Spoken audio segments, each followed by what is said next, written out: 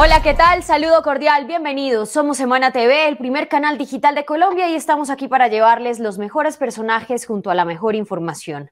El deporte colombiano está de luto y todo a causa de una patinadora colombiana, Carolina Otálora, quien falleció después de someterse a la eutanasia. Por supuesto, en Colombia estamos estremecidos con el tema y queremos conocer muy bien cómo sucedieron pues estos hechos que enlutan no solamente al deporte colombiano, en especial a una familia. Por eso hemos invitado a su esposo, Juan Manuel Lemus. Juan Manuel, gracias por estar en semana, por estar con nosotros en estos difíciles momentos. Por supuesto, toda la solidaridad y el abrazo de este equipo de trabajo y pues Primero preguntarle, por supuesto, por el tema de Carolina y esta decisión de someterse a la eutanasia. ¿Por qué la tomaron? Bueno, buenos días para todos. Primero que todo, pues quisiera dejar en claro una cosa y es que no fue un proceso de eutanasia. Eh, la eutanasia, como sabemos, es un tema eh, más legal, una ley que hace poco se aprobó, pero no fue la decisión de Carolina ese procedimiento. Su, procedimiento fue algo distinto, un poco más natural. Eh, se llama sedación paliativa terminal. Y realmente ella tomó esta decisión por su, por su estado tan avanzado de la enfermedad que, que tuvo, que le descubrieron hace tan solo tres meses y que pues no le dio la posibilidad de, tratarse de la mejor manera y, pues en sus últimos días eh, el dolor era bastante intenso, eh, pues ya la habían desahuciado, no había mucho por hacer, entonces pues eh, nosotros apoyamos su decisión y pues ya ahora está descansando en paz. Juan Manuel, gracias por la aclaración, porque si usted ha visto en todos los medios, todos hemos titulado con el tema de la eutanasia y es bueno que usted mismo sea el que nos cuente y nos aclare lo que pasó. Lo que tenía Carolina, entiendo, era un cáncer gástrico. ¿Es así? Sí, sí, a finales del mes de julio, cuando regresamos de los World Games, eh, se hizo unos chequeos médicos porque llegó enferma de Estados Unidos y nos diagnosticaron pues que ella tenía un, cáncer gástrico. Se realizó una, una gastrectomía, le retiraron el tumor, el, todo el estómago.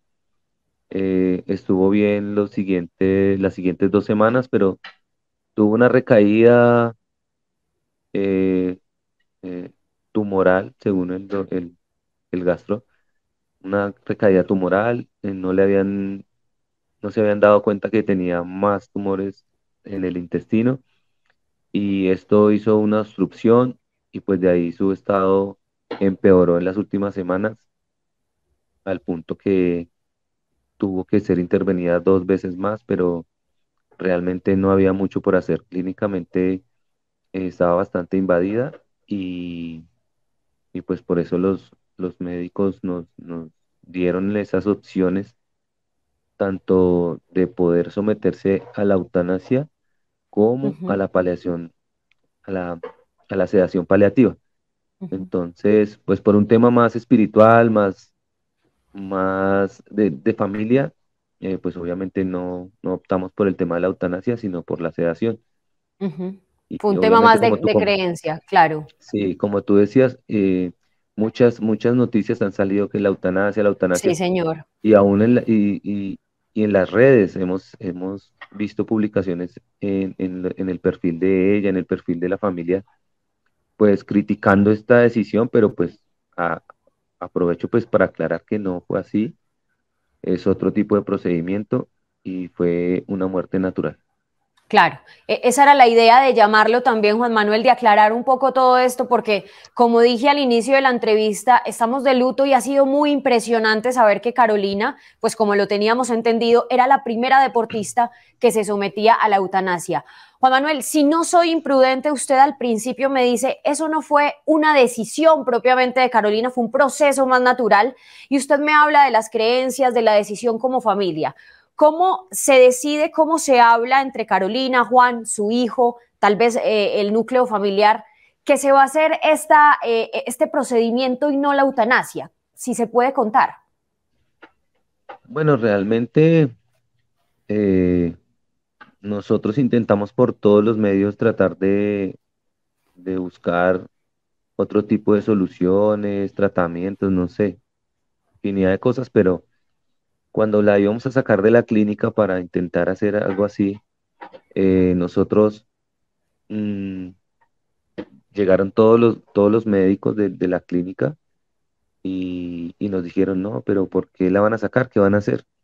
Nosotros no es que realmente vemos que pues ustedes no nos están dando soluciones y pues nosotros queremos hacer algo más. Entonces, mm, porque además que no nos tenían informados eh, muy bien de lo que estaba pasando, entonces cuando ellos vieron que la íbamos a sacar de la clínica, pues entonces se reunieron con nosotros, nos explicaron todo el diagnóstico, nos dijeron que realmente estaba muy avanzada la enfermedad, entonces nosotros decidimos pues no sacarla. Y ella, obviamente, dijo pues que no se sentía en condiciones de mantenerse mucho tiempo así porque los dolores eran muy intensos.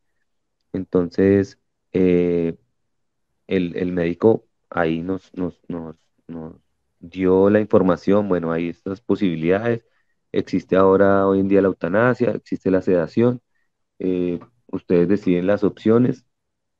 Entonces, pues por un tema eh, de familia, ahí sí como, como te comenté, pues decidimos que fuera de la, de la, de la manera más natural posible, que, que, de pronto no, no fuera a haber un, un, tema religioso involucrado o cosas así. Entonces, pues realmente por eso se tomó esa decisión. Juan, usted no es médico, pero sí vivió de cerca este caso. ¿Cómo o cuál es la diferencia? ¿Cómo le podría usted explicar a la gente el tema para que diferenciemos lo que es la sedación de lo que es la eutanasia? Bueno, la eutanasia realmente es de aplican una inyección con un, medicamento y en menos de 30 segundos tú estás muerto. ¿sí? Prácticamente tú das la autorización para que alguien eh, lo haga por ti. y, el tema de la sedación es que obviamente hay unos cuidados paliativos eh, para las personas que tienen enfermedades terminales.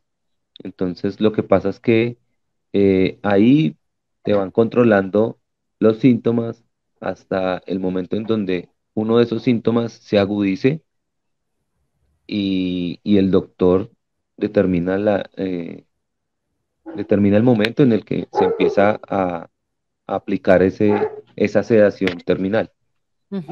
Ok, está muy bien explicado.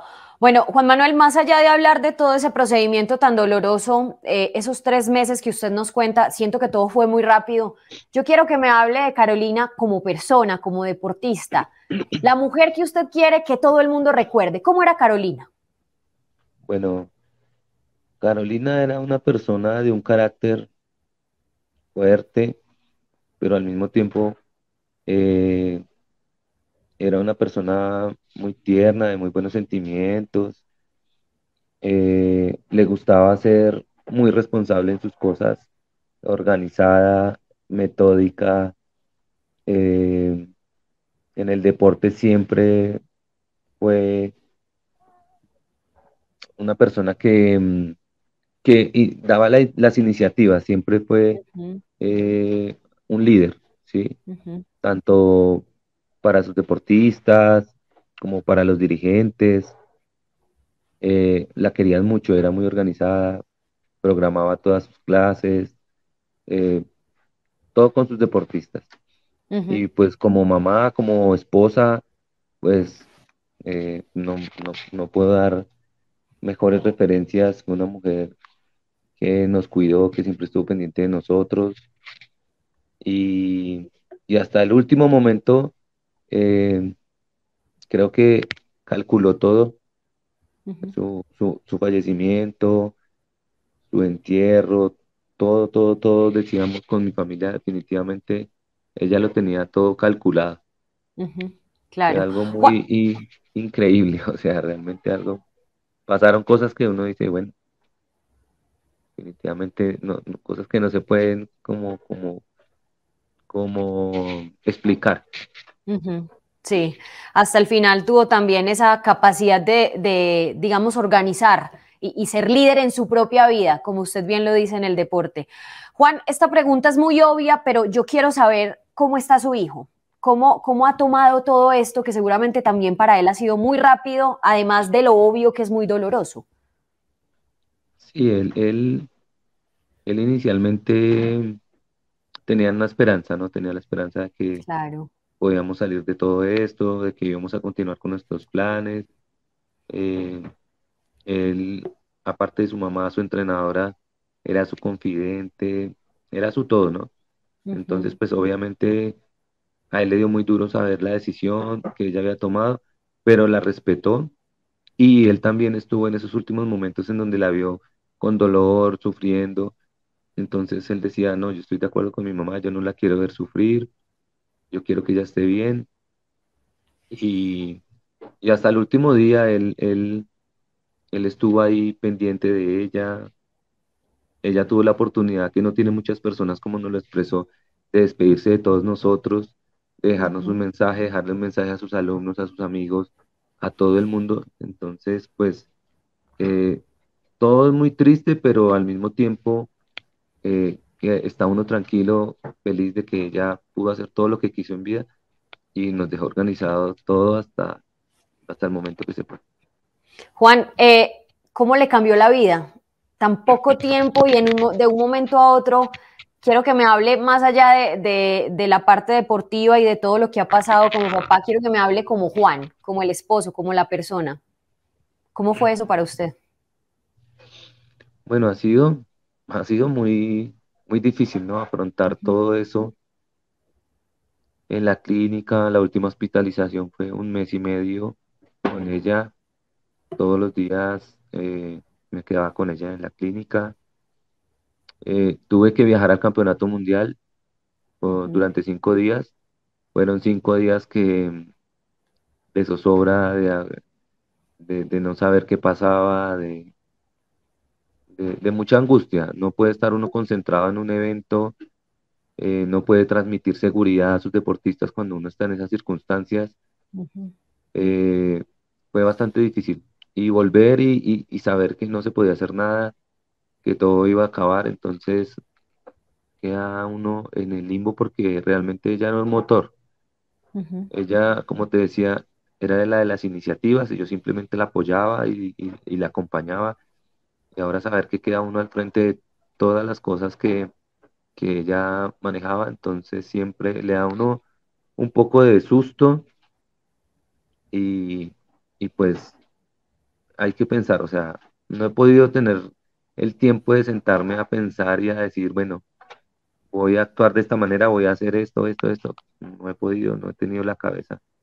Entonces, pues aún, aún estoy ahí en ese dilema de, ese conflicto interno, pues, por claro. de alguna manera. Uno, uno, no termina de aterrizar cuando le pasan estas cosas, cuando pierde un ser querido y cuando todo pasa tan rápido. Juan, ¿cómo la recuerdan los deportistas, los alumnos? ¿Qué dicen de Carolina? Bueno, definitivamente fue algo impresionante. Su despedida, su velorio, eh, la misa antes de su, de su cremación. Generaciones. Eh, vi pasar muchas, muchas generaciones a despedirse, los, los que patinaban con nosotros de pequeños, los alumnos, los alumnos que ahora son profesionales, los alumnos que ahora son competidores, los alumnos que están en las escuelas de formación, los alumnos que, que, que ya, no sé, sembró su, una semilla en ellos, ver tantas manifestaciones de cariño, de, respeto, o sea, fue algo increíble, algo increíble. Demasiadas personas, demasiada gente que, estuvo a su alrededor al final. claro, Juan, ¿no le parece que esto lo pone a uno en una disyuntiva un poco egoísta? El hecho de que ella tenga estos dolores, de que por supuesto tenga esa posibilidad de descansar y en contra está no dejarla ir, el ser querido. ¿Cómo manejaron ese, ese tema de, por supuesto, esa pelea interna, ese conflicto interno de no ser egoístas y decir, bueno, tome esta decisión porque por supuesto va a ser lo mejor, lo que usted quiere. Fue muy difícil para mí, pero ella me decía, eh, no sean egoístas, como tú lo dices, no sean egoístas conmigo. Eh, yo hice hasta lo que más pude por estar bien, me hice todas las cirugías que se pudo, todo, pero yo no quiero más dolor. Y nosotros le decíamos, no, vamos, pues intentemos otra cosa. Y decía, no, es que estoy cansada, todo me duele, ustedes no son los que ponen eh, la piel para que los chusen, para que les hagan de todo, entonces, eh, por favor, no más. Entonces, ante eso, pues obviamente nosotros eh, decidimos apoyarla, apoyarla. No había otra cosa que hacer. Claro. Juan, ¿cómo fueron los últimos días? Desde el momento en el que descubrieron que sufría esta terrible enfermedad hasta lo que vivieron como familia, ¿cómo fueron esos días eh, de hablar, de conversar, de planificar? Porque usted nos dice, ella nos dejó todo listo. ¿Cómo fue eso para usted y para su familia? Bueno, realmente ella estaba muy triste, muy triste, eh, porque sabía que no pasaba nada. Eh,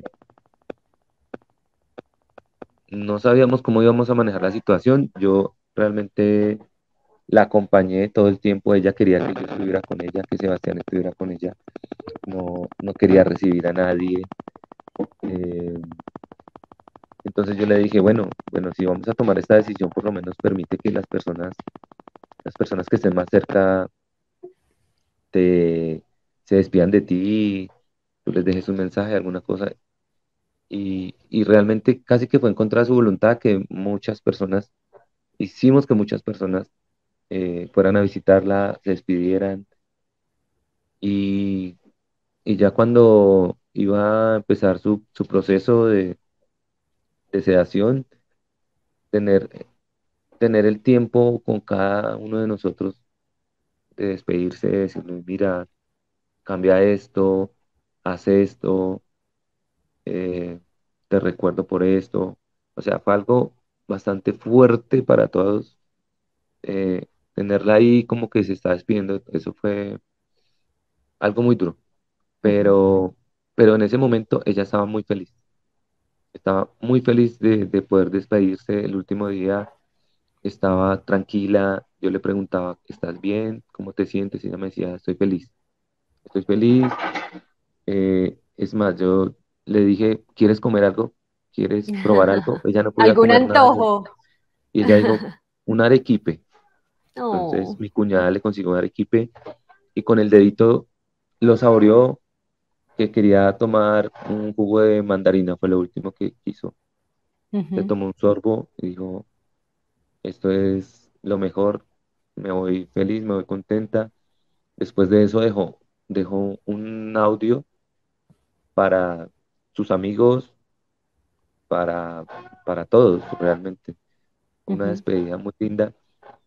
Y ya, eso fue nueve de la noche del día sábado.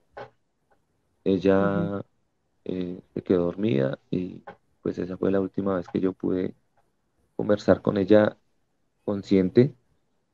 Y la mañana siguiente eh, las enfermeras me dijeron que estaba muy malita. Y yo me desperté, le cogí su mano y le dije que, que si quería descansar, que lo hiciera, que, que nosotros íbamos a estar bien, que se fuera tranquila. Y suspiró dos veces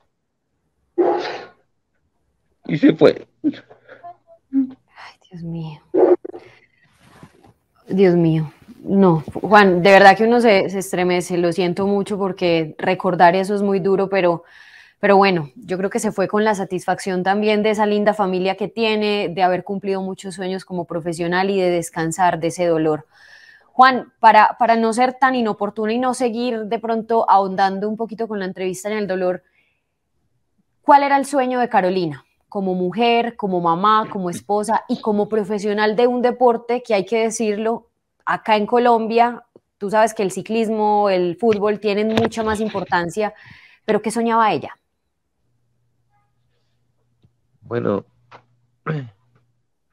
ella, pues en, en, los dos últimos años, ya estaba un poco cansada, ¿no? Decía, no, yo ya estoy cansada de trabajar, yo quiero irme a descansar, quiero ver, ver crecer, eh, quiero ver patinar a mi hijo, quiero disfrutármelo, quiero de pronto que, que él se haga responsable de, nuestro club y yo de pronto ir de vez en cuando a la pista. Eh, nada, estaba pensando como en, ese descanso, ¿no? En disfrutar un poco más de la vida. Pero no, no, no, no se pudo, pero pues digamos que nos dejó muchas tareas y pues con Sebastián pues la idea es que podamos seguir adelante con lo que ella construyó, con lo que ella quería y, poder estar, eh, que ella esté como muy orgullosa de nosotros por eso. ¿Cuál es una de las tareas que le dejó y usted quiera cumplir a cabalidad? Bueno, la, primer, la primera y la más importante, eh, Sebastián. Sebastián, digamos que, que termine sus estudios, que termine su carrera deportiva de la mejor manera. Él quiere y trabaja y lucha por una medalla mundial y muy seguramente eh, eso trataremos de hacer hasta, hasta lograrlo o por lo menos si no podemos lograrlo, pues lo intentaremos de la mejor manera. Juan, ¿le puede contar a la gente los logros de Carolina en el deporte?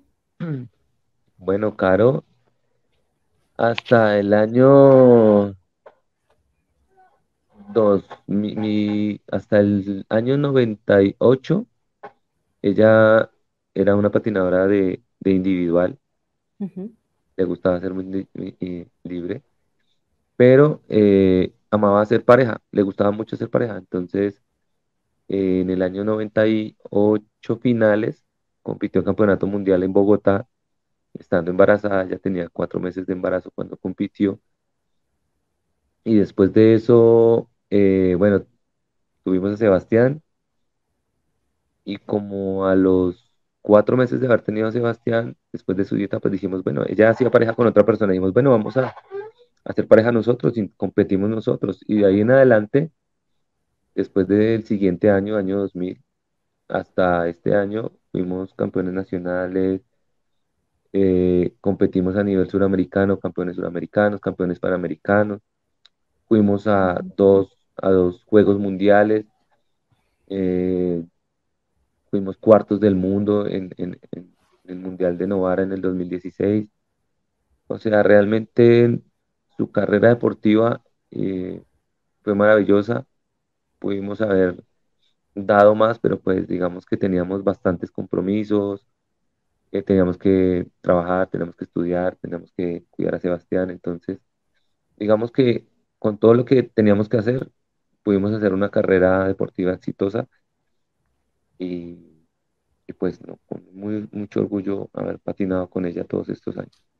Juan, para despedirlo, ¿le parece que esta noticia ha sido tan protagonista que por fin los medios, también hay que decirlo como autocrítica, nos hemos fijado en este patinaje?